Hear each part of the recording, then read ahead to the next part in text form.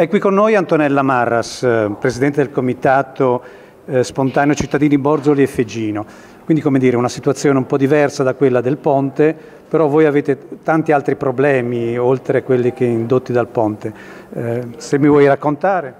Sì, allora ehm, praticamente siamo qui perché, per dimostrare comunque la, eh, già il fondo in cui, eh, in cui siamo eh, come, come, valle, come Val Polcevera. Abbiamo già tantissime criticità, una di queste è il fatto che abbiamo nel nostro territorio la presenza di un deposito di idrocarburi e, e questo provoca, sempre provocato per, per anni problemi eh, per quel che riguarda le emissioni soprattutto eh, che siamo costretti a subire eh, quando c'è la movimentazione giusto del, del petrolio o comunque dei lavorati.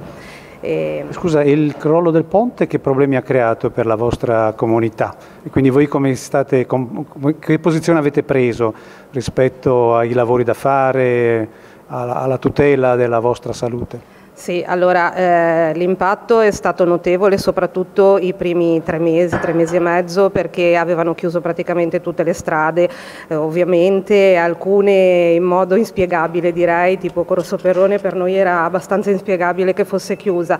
Questo ha provocato, ha fatto sì che l'unica via di collegamento tra la Valpolcevera e, eh, e poi tutto il resto della città fosse via Borzoli, eh, aumentando il traffico in una maniera incredibile. Le cose che abbiamo chiesto eh, eh, inizialmente erano proprio di incrementare l'utilizzo del trasporto pubblico ehm, e soprattutto anche di renderlo gratuito, almeno in, questo, in quel periodo in cui eh, era necessario che le persone lasciassero le, le auto a casa.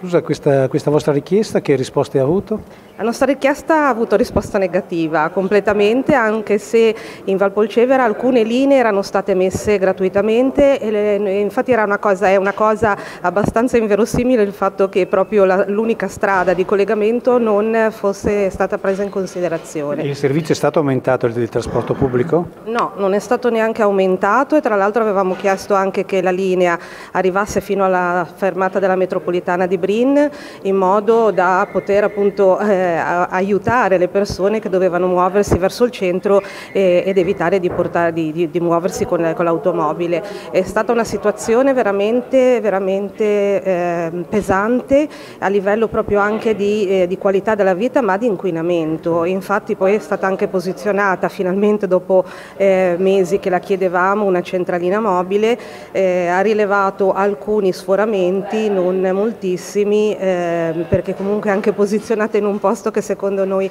non è, non è molto recettivo, però purtroppo la nostra via è difficile mh, proprio anche posizionare un, un mezzo così grande, mobile ovviamente. A questo punto che chiedete all'amministrazione? Continuate a insistere? Eh, noi insisteremo sempre, noi insistiamo perché la qualità della vita e il diritto alla salute venga assolutamente tutelato, sia per la presenza del deposito di idrocarburi, sia come abbiamo fatto anche che venga comunque rispettato il, eh, il divieto che, che, dopo anni di lotte siamo riusciti ad avere per il passaggio dei mezzi superiori ai 7,5, alle 7,5 tonnellate e eh, che non veniva fatto rispettare. Infatti in, quel, in, tre, in quei tre mesi avevamo avevamo anche eh, manifestato proprio il nostro disappunto eh, in questo e insomma poi alla fine siamo riusciti ad avere un controllo e comunque continueremo la nostra lotta finché ci sia un controllo, un monitoraggio continuo anche di tutti gli inquinanti a cui siamo sottoposti e, e, e che ci sia proprio un'analisi completa dello stato di salute delle persone in questo quartiere.